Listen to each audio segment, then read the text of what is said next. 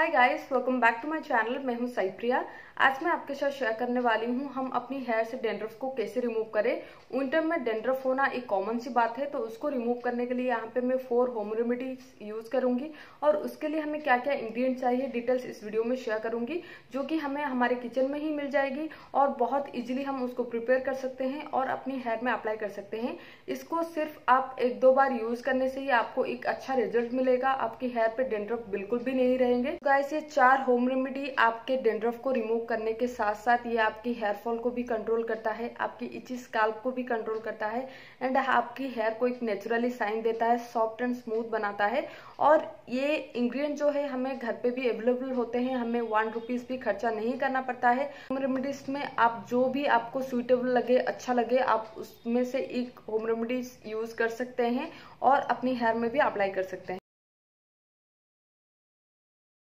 सो so guys पहला ingredient है curd curd में होता है एंटीबैक्टीरियल प्रॉपर्टीज़ और विटामिन बी फाइव ये हमारी हेयर को नेचुरली कंडीशनिंग करने में हेल्प करता है, हमारे स्काल्प से डेंड्रफ को रिमूव करता है। उसके बाद यहाँ पे मिला रही हूँ थोड़ा सा बेसन, यानी कि ग्राउंड फ्लावर और ये हमारे स्काल्प को क्लीन रखता है हेल्दी रखता है और हमारी हेयर फॉल को भी कंट्रोल करता है। तो ये दोनों मिला के मैं एक अच्छा सा पैक बना रही हूँ। ये पैक को आप इजीली अप्लाई कर सकते हो और ये हमारे घर पे भी अवेलेबल होते हैं। मैं ये हेयर पैक बना चुकी हूँ। आपको ये पैक अप्लाई करने से पहले आपकी हेयर जो है क्लीन होनी चाहिए तो आप पहले से शैम्पू कर लीजिए। उसके बाद उसके अगले दिन आपको ये हेयर पैक अप्लाई करना है। 20 मिनट तक आपको रखना है। फिर आपको नॉर्मल पानी में क्लीन करने के बाद शैम्पू कर सकते हैं। ये पैक बहुत ही इफ़ेक्टिव है। आप जेंटली इसको मसाज भी कर सकते हैं। और धोते टाइम आप इजिली ये क्लीन भी हो जाता है। तो ये पैक भी आप ट्राई कर सकते हैं। सेकेंड होम रेमेडी है एप्पल साइडर विनेगर की वाटर तो यहाँ पे वाव की एप्पल साइडर विनेगर यूज़ कर रही हूँ। आपकी हेयर को देख के आपको पानी लेना है। एक मग पानी ले सकते हैं, नहीं तो वन ग्लास पानी ले सकते हैं।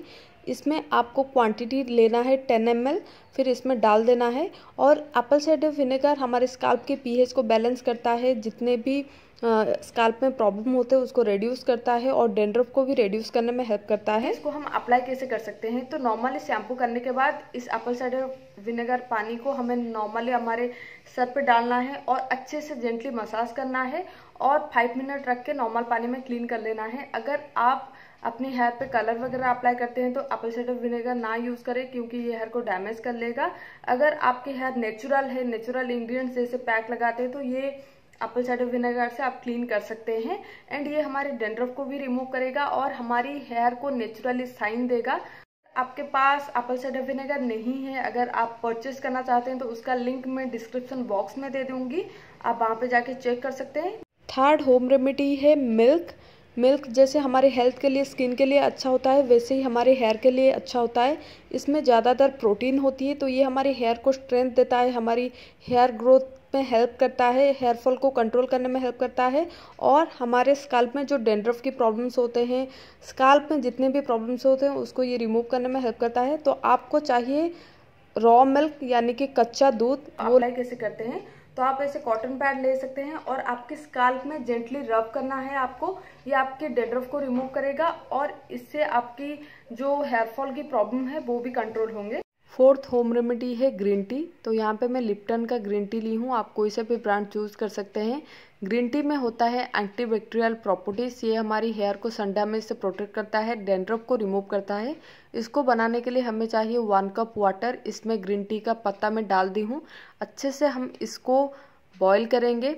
बॉयल होने के बाद आप देख सकते हो उसकी कलर चेंज हो गई है और इसको 15 मिनट तक ठंडा होने देंगे।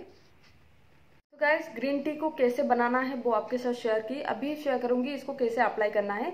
आप चाहे तो एक स्प्रे बोतल में लेके आपकी हेयर की स्काल्प में स्प्रे कर सकते हैं।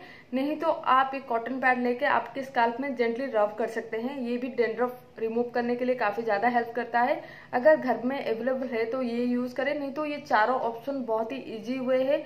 जो भी आपके पास है वो आप यूज़ कर सकते हैं। और आपकी हेयर में जो डेंड्रफ की प्रॉब्लम्स है इचीनेस की प्रॉब्लम्स है, उसको रिमूव कर सकते हैं।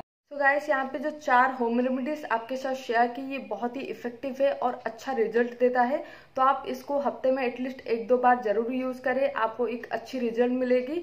एंड ये होम रेमेडीज हमें घर पे भी इजीली मिल जाती है। अगर ये वीडियो आपको अच्छी लगी हो हेल्पफुल रही हो तो प्लीज़ हमारे चैनल को लाइक एंड सब्सक्राइब करें। और अगर आप मुझे फॉलो करना चाहते हैं तो मेरी इंस्टाग्राम आई और फेसबुक पेज की आई मैं डिस्क्रिप्शन बॉक्स में दे दूँगी, वहाँ पर आप जाके चेक कर सकते हैं। Thanks for watching guys Bye bye.